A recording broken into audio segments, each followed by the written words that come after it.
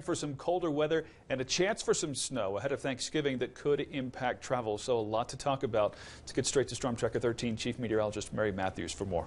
Yeah, you know, it was nice to see uh, the uh, snow in the mountains just over this past weekend. We got just a little bit of light snow and um, you know, something we haven't seen in quite some time. Let's take you to the maps here and kind of show you what we're looking at because most of the country right now uh, is dealing with uh, quite a garden variety of temperatures uh, at the moment. You'll notice the eastern two thirds of the country uh, embedded in this trough of low pressure where temperatures are a good 14 degrees cooler in Nashville, Tennessee than they were over the last 24 hours, whereas we have warmed up surplus at about 12 degrees warmer than we were yesterday. And that is all due to this ridge of high pressure that's been in place uh, for today, allowing that compression at the surface and those clear skies. So we've had ample sunshine so far today. Uh, notice that nice little uh, dome of high pressure giving us those mainly sunny skies. Now that's going to start to break down and shift southeast, allowing for two systems to come in. We have a nice little vigorous trough here across parts of southern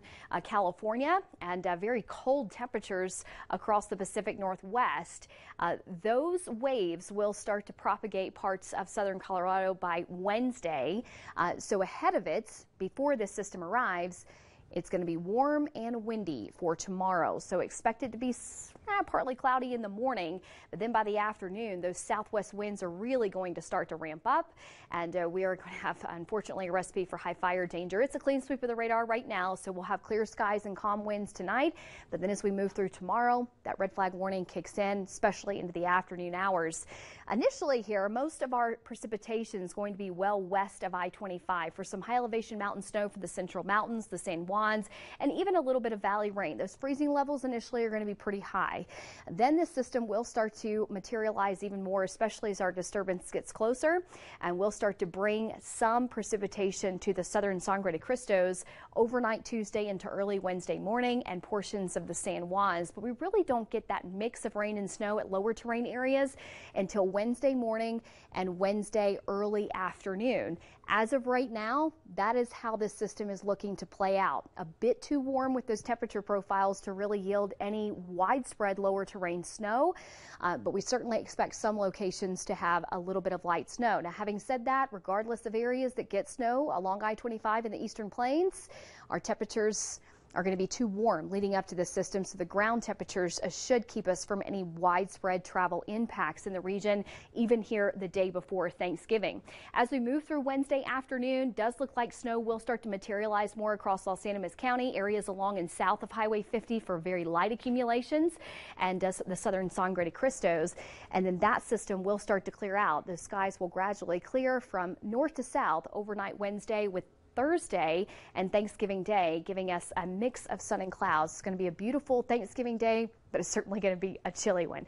Let me show you those temperatures for tomorrow. We're in the 50s and 60s. This is really going to be our last warm day before things cool down by Wednesday and Thursday. Warm and windy tomorrow, if you want to call it that, with a little bit of sunshine in the morning and a little bit more in the way of hazy skies by the afternoon hours. Temperatures in the 70s along the Arkansas River Valley. Will be in the 70s here along and south of Highway 50.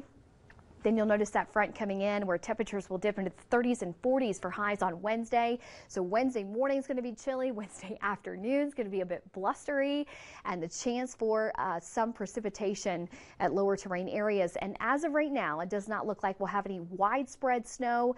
Uh, areas that do get some light snow uh, should keep from any widespread travel impacts uh, concerning uh, those secondary roads given how warm that ground is going to be leading up to that event. Now, overnight Wednesday into Thursday, Woodland Park, you're going to get down close to about 10 to 11 degrees.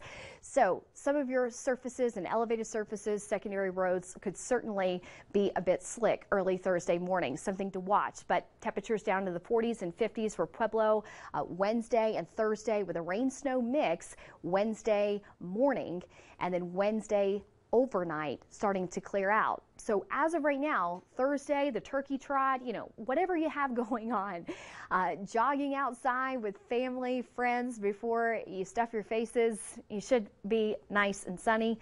But it is going to be chilly, folks. Uh, certainly very chilly by the morning time frame. It does look like our system starts to yield that precipitation the day before.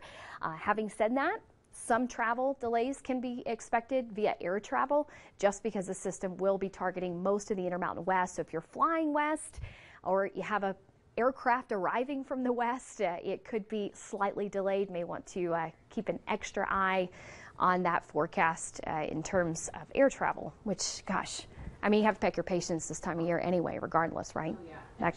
Extra people you'll be traveling with. I know. Good advice, Mary. Thank you. As for traffic on the roads, let's take a peek at that from I-25 and the pedestrian bridge. Again, uh, traffic really spilling out of the downtown area, clogging things up. You will start